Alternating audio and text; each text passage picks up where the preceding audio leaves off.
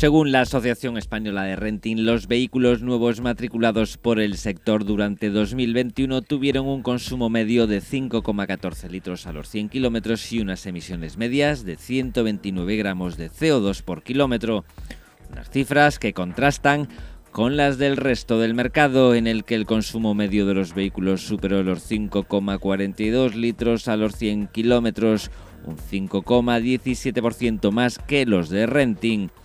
En cuanto a emisiones, estas se situaron en 133 gramos, lo que supone 4,78 gramos más que los vehículos de alquiler a largo plazo.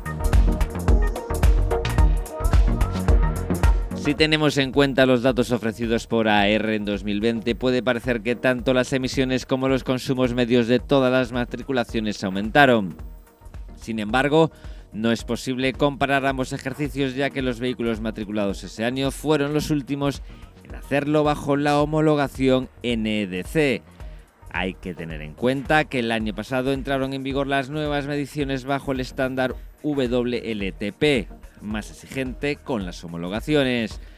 Lo que sí se observa es que en 2020 las emisiones de renting fueron 3,66 gramos más bajas que las del resto del mercado, mientras que el año pasado esta diferencia fue de 4,78 gramos. El renting es un actor activo en la transición hacia un modelo de movilidad sostenible, no solo como prescriptor de vehículos más ecológicos, sino como renovador principal del parque de automoción en España.